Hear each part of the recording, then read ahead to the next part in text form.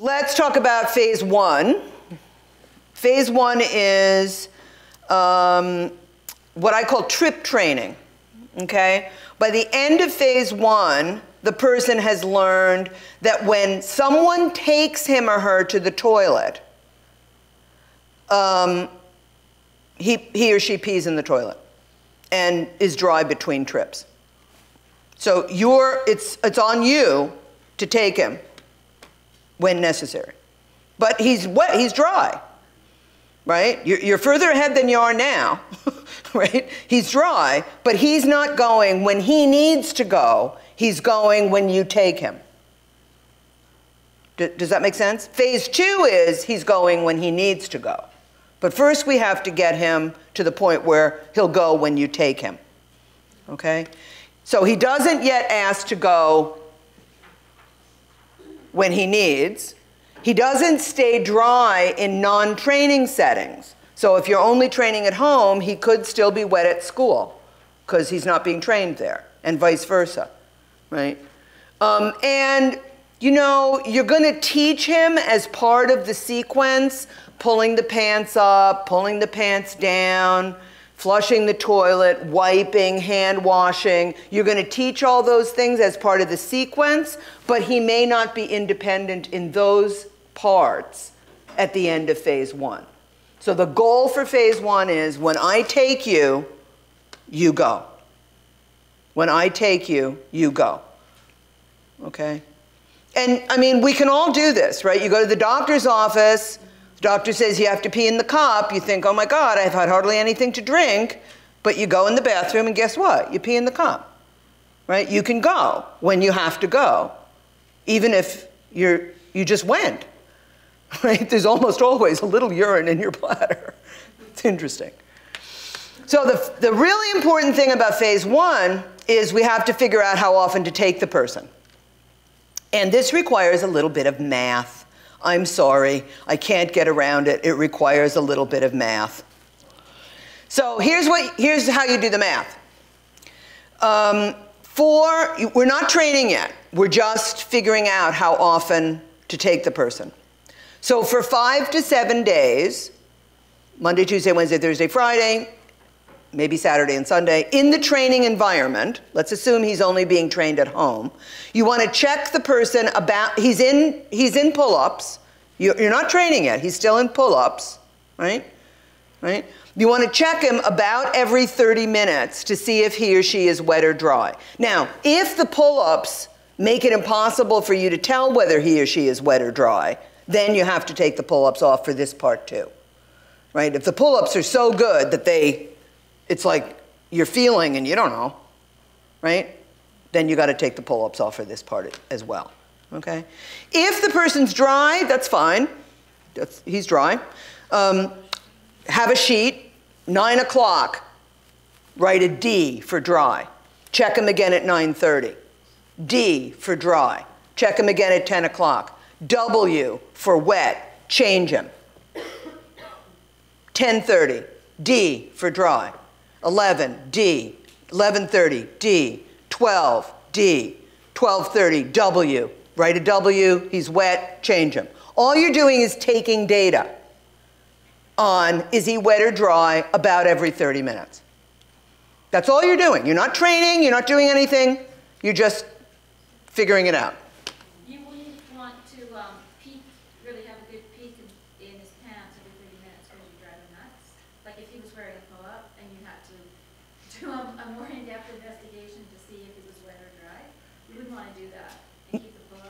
No, you wouldn't. Okay. I mean, uh, what? Yeah, I think if you can't easily tell whether he's wet or dry, and you have to like take the pants down, undo the pull up, sniff a little, right? Like this is, you know, whatever. This is too inconvenient. So then you have to take the pull up off even to get this information. Because you want to easily be able to tell is he wet or dry. Right? If you can't do it every half hour, the minimum you can do is every hour. You could check him every hour. My preference is every half hour. Right? All you're doing is checking. It shouldn't take more than like a few seconds. Right? Uh, the child's in uh, underwear. Yeah. And the accident isn't lard, so it doesn't soil the pants. Okay. It soils the underwear only in the area But that's, nearest. yeah. You can't see that unless it's pulled off. totally. Um, You have to tell them. Is, okay, so, so the question is, um, there's a little bit of wet on the underwear, but not a lot. Is there ever a lot, or is it always just a little bit? Very rare. It's very rare. He probably isn't drinking enough. No, we have the water bottle going. Uh, Well, but if- if- One liter, We have a water bottle we have to consume through from the morning to the afternoon. So he's going right, or she. So, so he- he- he's letting, she's letting a little bit out at a time, but never the full amount, never the full bladder? Very rare do we see a- flood. Well, so you still need, every time, if you're checking and there's a little bit there, you, you need, So I have to pull the yeah, you're gonna have to, you're gonna have to check then. You're gonna have to check, right? You only need to do this for a couple days, you, until you got the math done. So let me, let me show you the math and maybe this will make a little bit more sense. Okay, so you're writing down wet, WD, WD, WD, WD, okay? Now you need to calculate the average amount of time the person can stay dry. So here's what you're going to do for each day. Say we're on Monday. You're going to add up the number of hours during which you wrote down the W's and D's. So say you wrote down W's and D's from 9 o'clock in the morning to 9 o'clock at night. That's 12 hours. Add up the number of W's, right? You can ignore the first one if the person was wet in the morning when he got out of bed, ignore the first W, right? Or if he was wet when he got off the bus at school, ignore the first W. Add up the number of, of, of W's and divide that by the number of, divide the number of hours by the number of W's. Okay, so if you've got six W's, he was wet six times in 12 hours, that means that he's wet every two hours on average. If, he, if, you, if you got six hours and six W's, he's wet about every hour. If you got six hours and two W's, he's wet about every three hours. Two, six divided by two. If he's six hours every tw- and 12 W's, he's wet about every half hour, every 30 minutes. Does that make sense? Like how often, on average, is this person wet?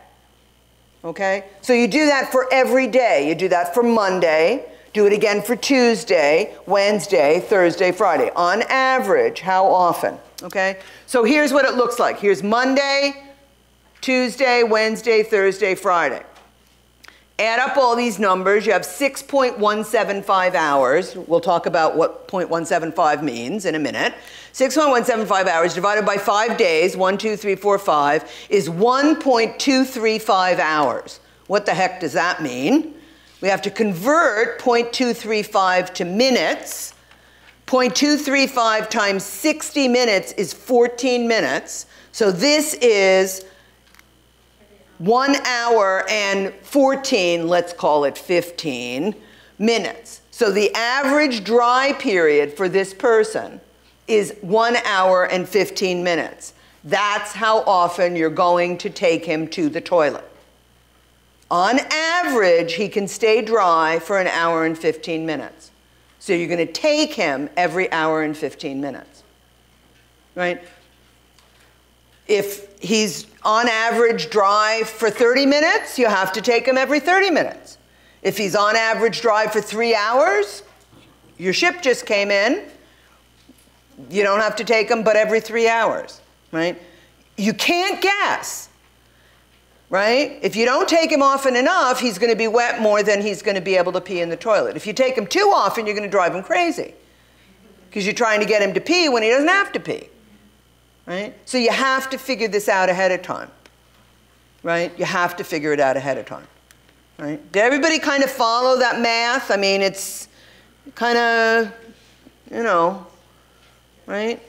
Now, if the person is wet every, if, if the longest the person can stay dry is, say, 15 minutes, I call people who have that problem dribblers, right? It's still possible to train, but you can see that it's now going to be a whole heck of a lot more work for you, right? Because now you've got to take them every 15 minutes. right? So some of doing the math is also figuring out, okay, can I really do this? Right? Like I, I I've only worked with one school team, right? Who worked. I this was a young woman who I worked with many years ago. She was um, you know, 19 years old in her last year of school. This was her last big shot at being toilet trained. She was a dribbler, like literally every 15 minutes. And the school staff decided, by God, she's not graduating until she's toilet trained. We're not sending her out in the world until she's trained. And that's what they did for six months. And she was trained. But I've never met a school team as dedicated as these people were. I mean, they were just adamant. She was not gonna graduate until she was trained. But they dug in and they did it. So I know it's possible because I've been there, but it's tough. It's a tough go. Okay? So do the math, right? Do the math. In, in, most, one of the biggest reasons that kids aren't trained at school is that they don't do the math. They go, well, we'll take him in the morning, and then we'll take him after recess, and then we'll take him after lunch, and then we'll take him before he gets on the bus. It's, it's like, well, Really? If you're lucky, that'll work, but if most of the time, that's not either too often or not often enough. Okay? So, now we know how often. At the appropriate time, because now you know he, he's going to have to go. On average, he pees every hour and 15 minutes, so here we go. Right? You take him to the toilet. You don't ask him, do you need to go to the toilet, honey? Do you need to pee, Susie? You don't ask. You know that there's enough urine in his bladder, assuming that he's been drinking or she's been drinking, you know, the same amount of time when you did the calculation as he or she usually does. You know that there's enough urine in the bladder and that the person probably has to go. So you take him to the toilet, you, you don't ask, you tell. Let's go to the bathroom, time to go to the bathroom. Before, as you're on, before, before you go, have the person say bathroom or pee or toilet or go potty or whatever it is that you've decided when you were getting ready that you want him to say and or have him or her take the picture on the way to the bathroom. So that picture is never taken unless you're on the way to the bathroom, right? I mean, you're, you're literally grabbing it and as you're moving out the door. right? Right? Whether it's in a PECS book or on the wall or, you know, and if you're if it's a manual sign on the way to the bathroom, he's making the sign. He's making the sign. Here I am. I'm on my way. I'm going. Right? Okay? So you're modeling for the person what you want him to do later on in order to self-initiate. And then once you're in the bathroom, you're going to stop talking. You are not going to talk in the bathroom right? You're going to stand behind the person and use hand over hand instruction to help him or her pull the pants down, right? Your hands over his hands to help pull the pants down because you want to teach that, right? Have the person stand if you're into standing, if it's a boy, or sit on the toilet, use the special seat, whatever, right? Now you know the person has to go because you did the math. You know there's enough urine in the bladder, right? So he needs to sit there for at least five to 10 minutes. Uh, uh, ideally, sit there till he pees. But again, we'll talk about problems with this. Ideally, sit there till he pees, or for at least five to 10 minutes. If he doesn't pee within five to 10 minutes, he can get off the toilet and walk around in the bathroom a little bit, but you know he has to go. You know he has to go. So if you get him back in the classroom or he goes in the living room, you know he's going to go. Right? So walk around a little bit, back on the toilet another five or 10 minutes. Right? You know he has to go. You know he does. You did the math. Trust your math. Okay? Um, if while he's off, walking around in the bathroom a little bit, he starts to pee, you whip him on the toilet. Right? Like that's why you don't want to be far from the toilet at this point, because you know he has to go, right? You're going to get him on there. And then when he's finished peeing in the toilet, not in the middle of the stream, right? Because if you interrupt the stream, the bladder, the sphincter clenches, and now he only has partially emptied his bladder. You don't going to get excited too soon, right? After then, you can praise, dancing bears, call Nemo, you know, food, reinforce whatever it is that you're going to do. Oh boy, look at that. Wow, look, oh, terrific. Oh, let's call grandma. Let's call Nemo. Let's call the President of the United States. Let's call Stephen Harper, right? You know, whatever. okay, so like big dog and pony show. Oh boy, oh boy, right? Now you're not, you're never saying to him, if you pee in the toilet, you get blah blah. If you pee in the toilet, you get blah blah. Don't say that. Just make it happen. When he pees in the toilet, give him blah blah. Right? But you don't want to get into the sort of coercive verbal stuff. When if you pee in the toilet, or you're not gonna, oh look, you peed in your pants, you're not gonna get blah blah. No, no, no, no, no, no, no. That gets in, now we're into power struggle land again. You don't want to get into that coercive verbal cycle, right? When he pees, reinforce him. Get excited. Oh boy. And then when he's done, he's sitting on the toilet having his iPad. Oh boy, this is great. Mm, having his food, doing whatever. Now you assist him to get off. You can do again hand over hand to help him wipe, help him flush, help him pull up his pants, walk him in the bathroom, do hand over hand instruction around hand washing. You're going to do all that, right? Because you want all those skills in place, right? You're going to have your data sheet, right? And you're going to make a nice big T for toilet, not a W. That was wet in the pants. T for he peed in the toilet. And give yourself that glass of wine. Big pat on the back. Okay, so that's what happens if he pees in the toilet. If he's wet in between times, right? So he's it, you're on an hour and 15 minute schedule, but at the hour point, you know, he wets himself, right? Most of the time, you're going to change him or her into dry clothes, not ignore it, but change into dry clothes.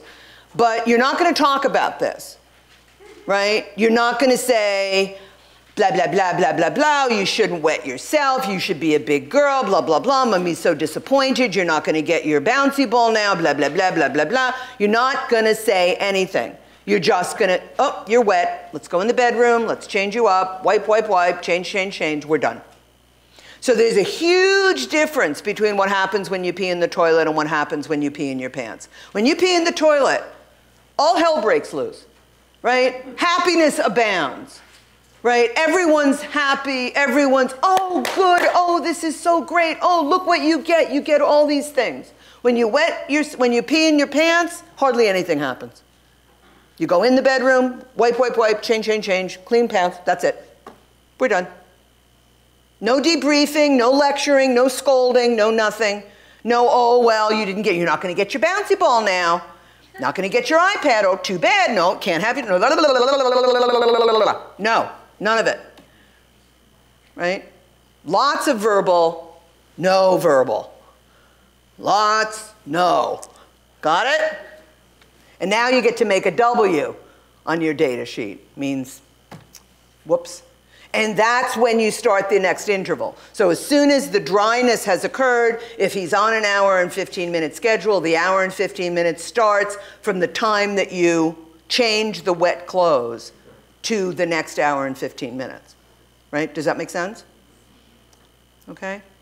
And at the end of each day, if you are, you know, into it, I hope you can be into it, get yourself a piece of graph paper and graph how many wets, how many dries, and in a fairly short period of time, hopefully the dries will start exceeding the wets and you're off and running. That's the shtick with trip training right? You're going to trip train um, till the person's dry, you know, most of the time, like 90 to 100% of the time, for about two weeks. At the end of two weeks, you can consider that person trip trained, right? Don't change anything before the two weeks is up. Keep delivering the reinforcer when peeing in the toilet. Continue to be neutral about accidents. obviously, if the person ever asks to go between times or ever wanders into the toilet on his or her own and pees on his or her own in the toilet between times, oh my gosh, that's worth two calls to Stephen Harper, right? That's like huge celebration time, right? Because now you've hit bonanza, you've got self initiation happening. So don't prevent the person from going in the bathroom and doing it on his, on his or her own. And if that ever happens, I mean, my gosh, right? I, um, I, work, with, I work with a school team a couple years ago, and I got a frantic call from the SEA one day saying, you know, we've been training, let's call him Johnny, and you know, he's he's been dry for a couple weeks now, and today he he he he took the picture of the toilet out of his communication book and and and and he didn't look at me, he just he did this. He just like handed it to me. And I said, Yeah, yeah, what'd you do? What'd you do? She said, Well, I, I let him go to the bathroom even though it wasn't time. I hope that was okay. I wanted to kiss her all over her body, right? It's like, yes, yes. What happened? Did he pee? Yes. Did you get excited? Yes. I said, yes, yes, yes. But she like was afraid she had made a mistake, right? So now I make it a real point to say this isn't a mistake. This is like a fabulous thing if that happens, right? She was concerned because he hadn't given her eye contact. I'm like, really? Seriously? Right? So now we're trip trained right? If you're lucky, you start getting self-initiation in there too. But now, now we're trip trained.